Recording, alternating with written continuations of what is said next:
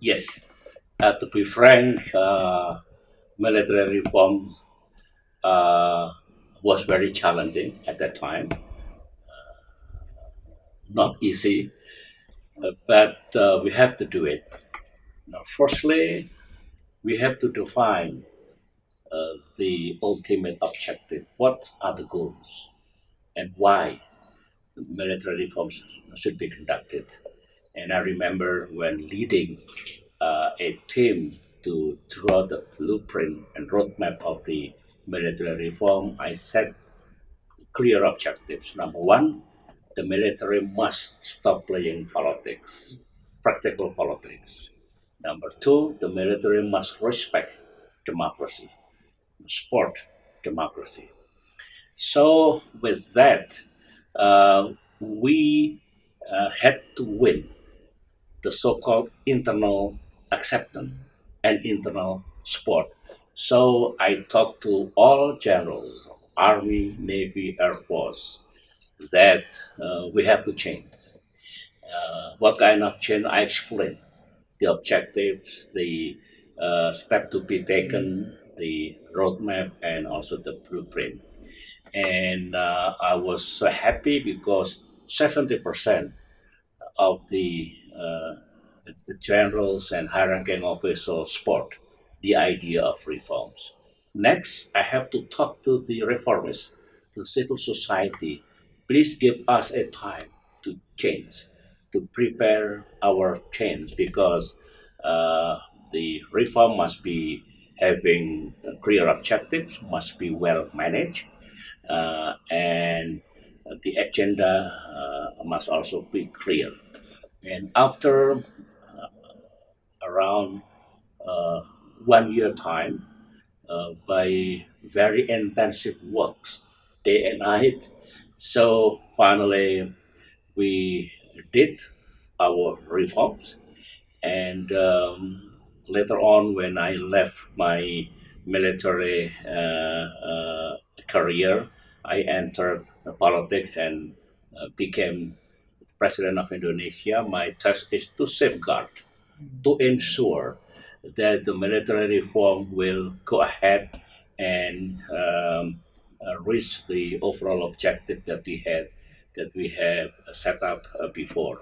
So the uh, story of our reform, and with that, the military, the military is not only supporting the national reform, but we were part of the reform. We were part of the solution, and even we uh, could say to the uh, elements of old regime, look, we have reformed ourselves. We could do it. Why don't we work together to reform our country for the better future, more democratic and more people oriented?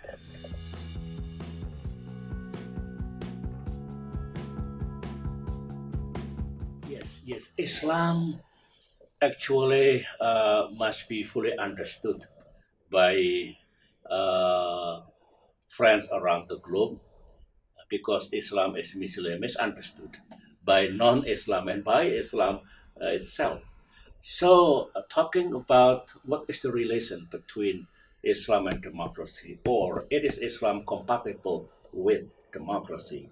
So, I have to say that uh, there are Islamic values that, in my view, are uh, compatible with the, the, democratic values. For example, Islam, by our teaching, love peace, love justice, love uh, consensus building, uh, love um, uh, prosperity, uh, love equality.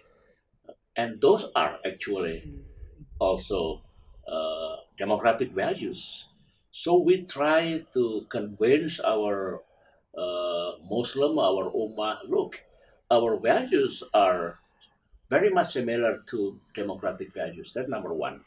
Number two, uh, my friend, uh, in Indonesia, I think uh, more than uh, 40% of our political parties are uh, Islamic based political parties. It means the idealism, the ideology is Islam.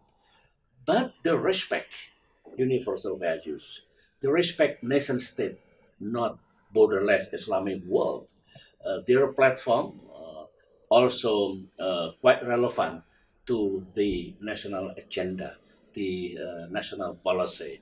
So we could uh, say to the people, look, our Islamic political parties are part of the democracy itself.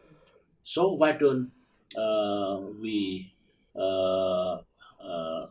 do things that not to contradict contradict Islam's and democracy. And of course, like um, many other Islamic countries, there are elements of mm. hardliners, of uh, uh, the radicals.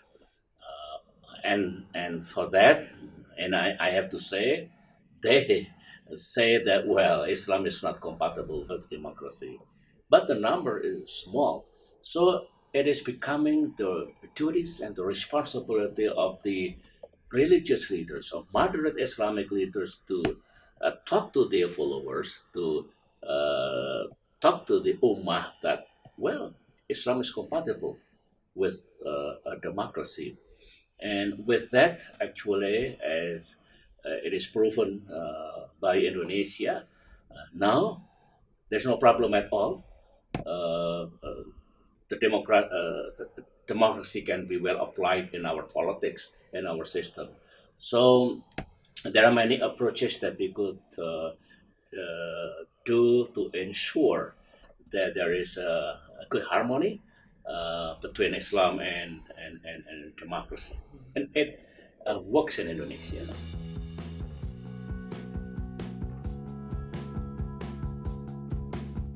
Yes, well, ASEAN uh, now consists of uh, 10 member countries, and ASEAN, to be frank, varies in terms of uh, the ideologies, system, political system, I mean.